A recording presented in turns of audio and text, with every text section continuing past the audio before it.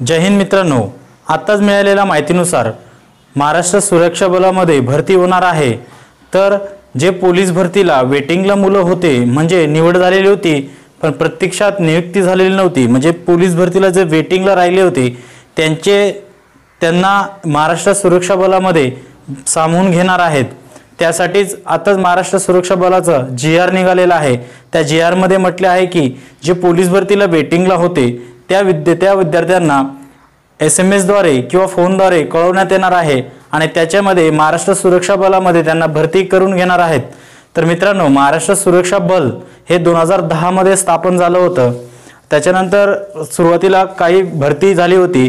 त्याच्यानंतर दोन हजार चौदाच्या नंतर जे वेटिंगला पोर मुलं होते पोलीस भरतीच्या वेटिंगला त्यांना महाराष्ट्र सुरक्षा बलामध्ये निवड करण्यात आली होती आणि त्यांना दोन महिन्याचं प्रशिक्षण देऊन पोलिसांस पोलिसांसारखं प्रशिक्षण देऊन सगळ्या प्रकारचे प्रशिक्षण वेपन प्रशिक्षण वगैरे फायरचं प्रशिक्षण प्रशिक्षण म्हणजे वेगवेगळ्या पद्धतीने प्रशिक्षण देऊन त्यांना महाराष्ट्र सुरक्षा बलामध्ये विविध आस्थापनेवरती त्यांची नेमणूक करण्यात आली होती.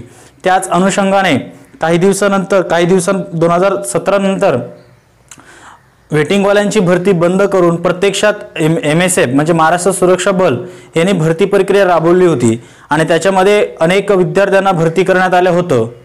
परंतु परत आत्ता नवीन आत्ताच्या जे आरनुसार परत पोलीस मुख्यालयाकडून पोलीस महासंचालकाकडून जे पोलीस भरतीला वेटिंगला विद्यार्थी होते त्यांची यादी मागवण्यात येणार आहे.